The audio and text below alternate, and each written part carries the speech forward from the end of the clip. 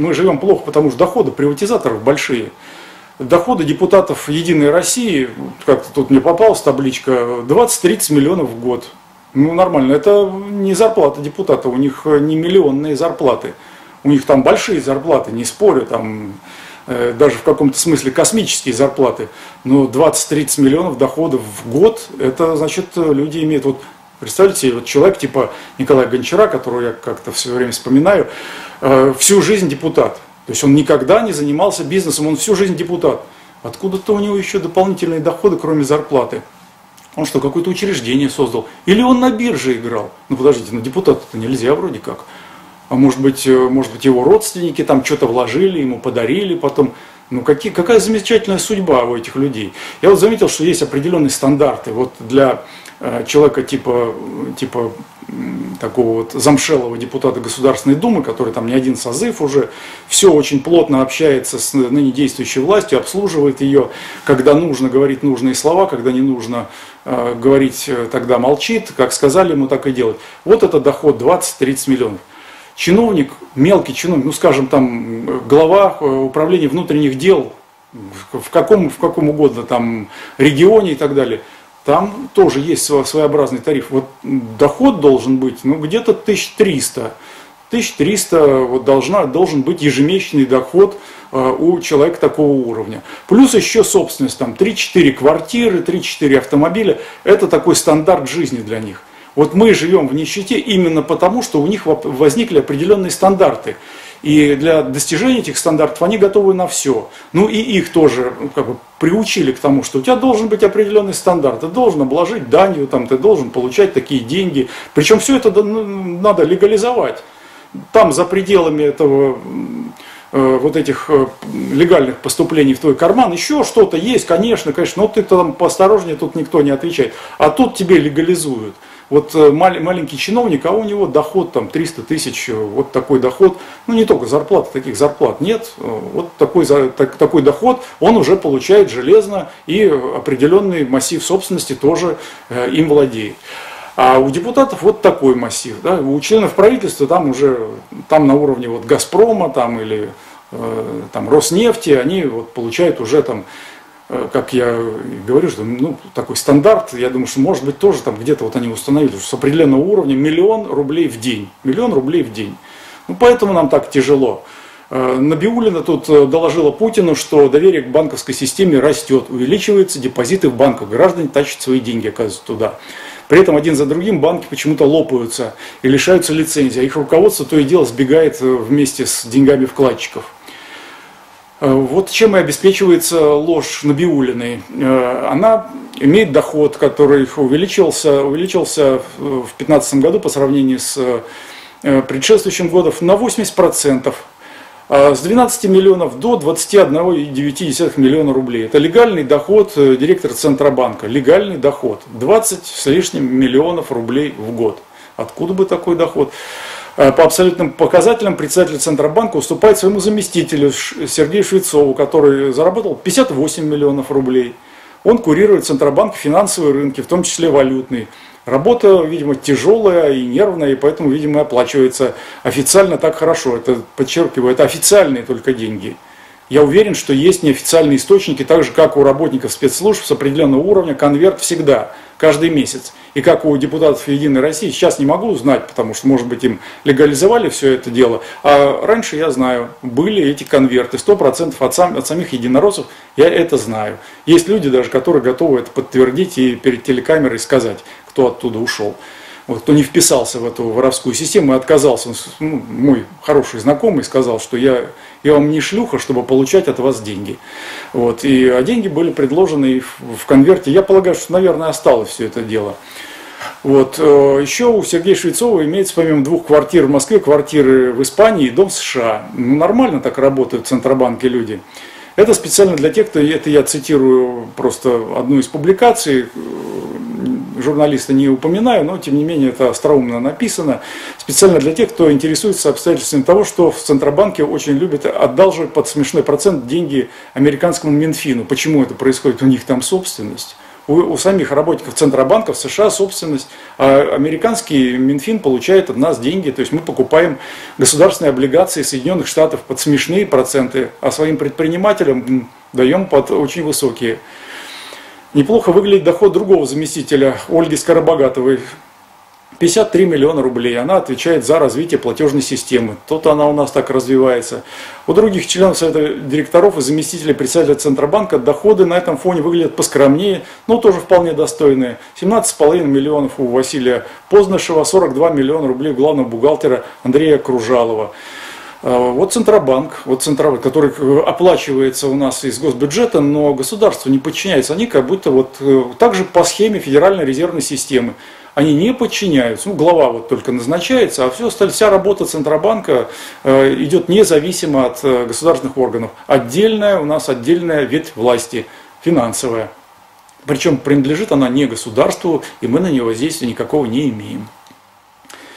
Вот. За какие заслуги и достижения руководители Центробанка выписывают себе баснословные зарплаты – с двухзначной индексацией, то есть ну, в два раза по сравнению с предыдущим годом, там, на 80%, почти два раза. Э, что в стране стабильная финансовая система, и рубль надежно и прочно гарантирован от э, волатильности, как они это называют, и валютных провалов, а банки полномерно кредитуют промышленность и сельское хозяйство, получая прибыли не на валютных торгах. Или кредитные учреждения не лопаются с ужасной чистотой, оставляя вкладчиков без денег и опустошая рублевые резервы агентства по страхованию вкладов а это все из наших карманов, из бюджета государства, а бюджет состоит из того, что вкладываем в него мы. Все обстоит ровно наоборот. Выплаты только вкладчиков и лопнувших банков в 2015 году составляют десятки миллиардов рублей. И никто в Центробанке не понес ответственности ни моральной, ни моральной, ни моральной, ни материальной за то, что допустили такой провал, хотя состояние дел в прогоревших банках контролировали не менее пяти центробанковских структурных подразделений. Они, наоборот, увеличивают себе зарплату. А, видимо, еще нелегальные доходы вот у этих падающих банков, э, ну, это тоже такое известное в финансовом мире явление, когда э, падающий банк предупреждают об отзыве лицензии, и он начинает тут во все тяжкие э, берет под любые проценты деньги, потом с этими, с этими деньгами просто исчезают, и те, кто дал под любые проценты, надеясь получить что-то, не получают вообще ничего. А за благополучие э, во всех перечисленных сферах ответственен именно Центробанк в целом и персональный его руководитель. У каждого провала в действительности в деятельности главного регулятора есть э, конкретные имена и фамилии автора из числа руководства Центробанка. Вот. А откуда миллиарды у всех этих людей? Они же потом уходят с государственной службы, вдруг оказываются крупнейшими предпринимателями, их куда-то там в советы директоров включают, они консультанты и получают даже еще больше, когда с госслужбы увольняются. Но ну, это прямое, прямое свидетельство о коррупции, тотальной коррупции. Вот что такое государство Путина? Это государство коррупционеров. Не наше, не национальное, не русское, а государство коррупционеров, то есть абсолютно воровское. Откуда у них миллиарды? Вот сравним э, с тем, что в других странах. Вот у нас э, есть э, колоссальные природные ресурсы, которые вроде бы принадлежат всем. Это национальное достояние. Но у нас это принадлежит только избранным, кого назначил там Путин или группировка, стоящая за его плечами, которая реально манипулирует всем тем, что происходит в стране, в том числе и выборами, кстати. Вот США на Аляске житель э, этой территории получает по одной тысяче долларов в месяц только э, из-за того, что в э, этом штате добывается золото. У нас есть что-нибудь подобное? Да, у нас некоторые сырьевые регионы такие дополнительные дотации получают. Но на самом деле продолжают жить в нищете в сравнении с теми, кто их продолжает грабить вместе с остальными, с теми, кто живет в центральной России. На Аляске создан специальный нефтяной фонд, на счету которого 30 миллиардов долларов. Из этого фонда ежегодно населению штата выдаются дивиденды. В Арабских Эмиратах э, каждому новорожденному детство обеспечено суммой 150 тысяч долларов отчислений от э, продажи от нефти. Кувейте каждому новорожденному государство открывает банковский счет в размере 3000 долларов, предоставляет гражданам беспроцентный кредит на сумму 220 тысяч долларов для строительства жилья. Кроме того, правительство выдает ежемесячное пособие в размере 170 долларов каждому несовершеннолетнему. И 300 долларов выплачивается каждой домохозяйке. Образование в этой стране полностью бесплатно. Ну а у нас что? А у нас миллиардеры, мы в этом соревнуемся со всем остальным миром. В Саудовской Аравии правительство перечисляет 10 тысяч долларов на счет каждого новорожденного, безвозмездно передает 80 тысяч долларов на приобретение жилья, 13 тысяч долларов каждому выпускнику вуза медицина и образование в этой стране являются бесплатными за счет нефтяных доходов. А у нас платные. Нефть есть, а, а все стало платным. В Туркменистане электричество, воду, газ и соль население получает бесплатно. К тому же бензин 95 стоит 16 центов за литр. Ну там особая ситуация, про нее можно говорить отдельно, но тем не менее даже там, там даже э, хоть каким-то образом пытаются поддержать население. Оно нищее абсолютно, абсолютно э, в таких условиях находится, когда едва-едва люди выживают, ну хоть что-то там есть бесплатное по этой причине. В Норвегии на счет каждого гражданина с самого рождения поступают немалые суммы от продажи, от продажи нефти. В стране давно законодательно введено бесплатное образование, практически бесплатная медицина, высочайший уровень социального обеспечения с доплатами, премиями, поощрениями по любому случаю. Профицит бюджета, учитывая средства нефтяного фонда, держится на уровне 10% ВВП. Россия, самая богатая страна в мире, владеет 40% всех природных ресурсов планеты, которые оцениваются по разным там данным в 350 триллионов долларов, по 2,5 миллиона долларов на каждого гражданина Российской Федерации. И мы оказываемся самыми нищими. Но при таком правительстве мы всегда будем нищими, когда они воры и тупицы. И это все рука об руку идет, я, как я сказал. Э, негодяйство и некомпетентность – это вещи взаимообусловливаемые или взаимно обусловленные. Мы, конечно, в русском движении такие кажемся сам себе, сами себе маленькими, несчастными, никто нас не замечает, никто нас не финансирует, мало кто нас поддерживает, боятся все чего-то. Но все-таки это тот самый Давид, который завалит этого Голиафа, завалит эту олигархическую систему. Я в этом абсолютно не сомневаюсь, только русские. Надо сплотиться. Надо вступить в Русский национальный фронт, надо прийти на наш митинг, который мы сегодня вот подали в день, когда я делаю эту передачу, подали заявку на митинг 25 сентября.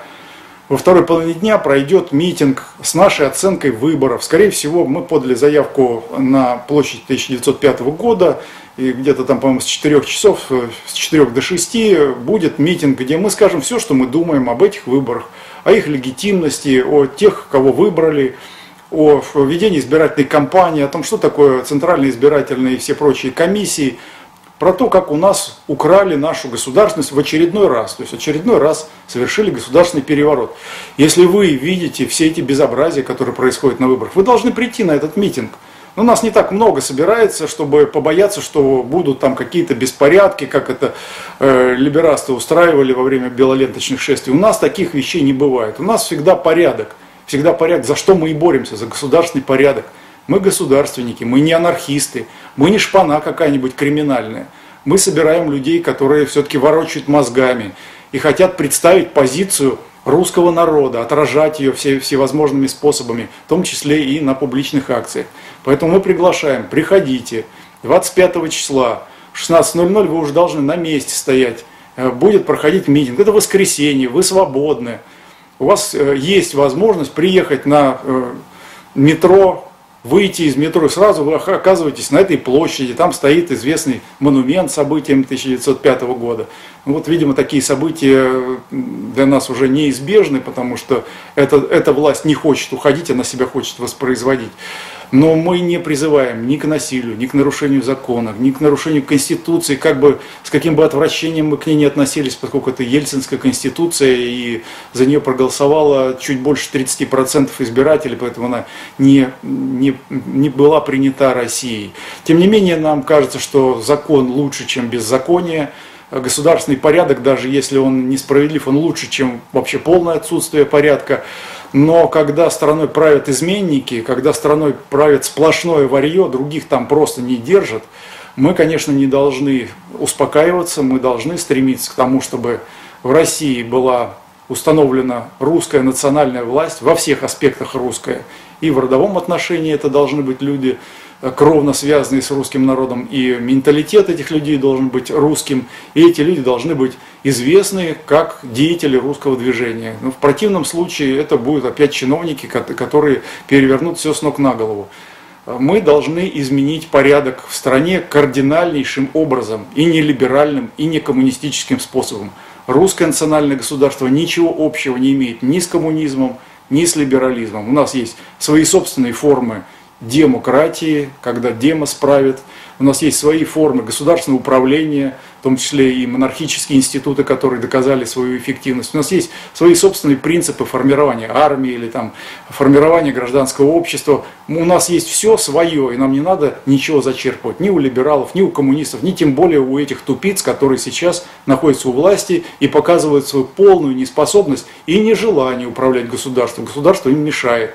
Поэтому все государственные институты, они а, просто дискредитируют, разрушают, систематически подменяют фанерными декорациями. Так как вот разложился, полностью разложился суд, системы суда, я считаю, не существует, и вообще правоохранительной системы ну, нас еще не убивают на улицах. Вот за это большое спасибо. Может быть, мы еще продержимся до того момента, когда все эти негодяи покинут свои государственные посты, а на улицах нас еще все еще не будут убивать. Вот в Чечне наубивались там, а здесь пока вот в Москве еще пока тихо. Может быть, мы все-таки сможем проскочить этот период, когда здесь не будет криминального такого бандитского кровопролития, а власти уже, кстати, к этому готовы, они с удовольствием прольют нашу, нашу и вашу кровь да, и кровь русских людей, и опять они прольют, столкнув между собой снова русских. Как они это сделали на Донбассе? Ну, то, вроде бы нас пока не убивают. Но вот на Донбассе-то убивают. Хотите продолжение? Ну тогда дальше терпите эту власть, тогда ходите на выборы, голосуйте за Единую Россию. Зачем э, за, голосовать за э, вот эти наемные партии мелкие, которые созданы такие, тоже Единая Россия, только э, мельче, подлее, там, ну мельче, не то чтобы подлее, а вот мельче, такие вот поделки и у них есть хозяева, зачем тогда голосовать за них? Вот хозяин есть Единая Россия, это тоже мелкие Единые России. Такие проекты э, тоже Единая Россия, но помельче и чуть-чуть другая. Другой вид, другой, другие физиономии, и им чуть больше можно пробалтываться. Вот они на проболтались, все они являются проектами, проекциями Единой России русским людям нечего делать на этих выборах. В заключение хочу поблагодарить канал ОТВ за то, что на нем показан фильм «Солярис» без рекламы. Бывают такие фильмы, которые нельзя показывать с рекламой, вообще нельзя. Ну, другие тоже нельзя показывать. Ну, есть всякая, всякая мешанина каких-нибудь боевиков, ужастиков, там всякая потетень. Эти можно показывать хоть с рекламой, что без, и смотреть их не надо. А вот фильм «Солярис» ну, нельзя смотреть. Если бы его показали с рекламой, ну, я бы, наверное, отругался бы. Ну вот посмотрел я без рекламы, уже много раз смотрел этот фильм он навевает какие-то вот чувства какой-то, с одной стороны, неудовлетворенности, а с другой стороны, какие-то чистые чувства о ключевых вопросах нашей жизни. Давайте мы эти вопросы будем решать, стремиться к доброму и уничтожать всякое зло вокруг себя, включая то зло, которое исходит от кремлевской группировки и вот этих нанятых хомячков, которые имитируют какую-то оппозиционность, что-то там заявляют про импичмент – это все для нас абсолютно чужие люди. Мы должны идти русским путем. Этот путь ясен, открыт, все вопросы на теоретическом уровне решены. Если кому-то кажется, что не решены, мы можем вступить в дискуссию, поговорить. Русский национальный фронт открыт для вступления в него как э, отдельных людей, как отдельных граждан, так и э, целых организаций. И Русский национальный фронт будет проводить 25 сентября во второй половине дня около метро 1905 года митинг, наша оценка состоявшихся выборов и дальнейший путь России, что мы, что предрекаем России мы, что мы чаем для России, и что выйдет, если будут продолжать править вот эти негодяи, в том числе и прошедшие э, вот это горнило выборов, где э, выборы состоялись на самом деле в Кремле, а не на избирательных участках. Слава России!